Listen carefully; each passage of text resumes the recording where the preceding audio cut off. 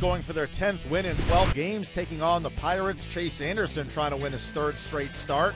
Pick things up in the third. Anderson looking good in a scoreless game, facing Trevor Williams.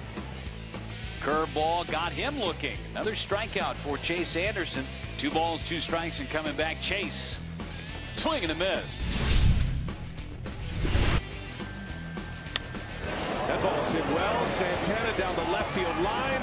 It is hooking. It is gone. A home run. Domingo Santana with number 26. 3-2 pitch, and it's in the air. Popped him up. Arcia is under it, and the curveball was the cure. Swarzak kicks and throws.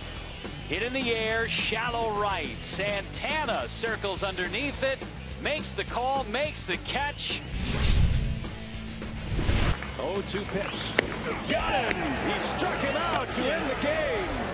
And the Brewers win it one to nothing. Wow. Corey Knebel his 37th save as the Brewers win for the 10th time in 12 games, taking it 1 0. It's their second straight shutout win over Pittsburgh.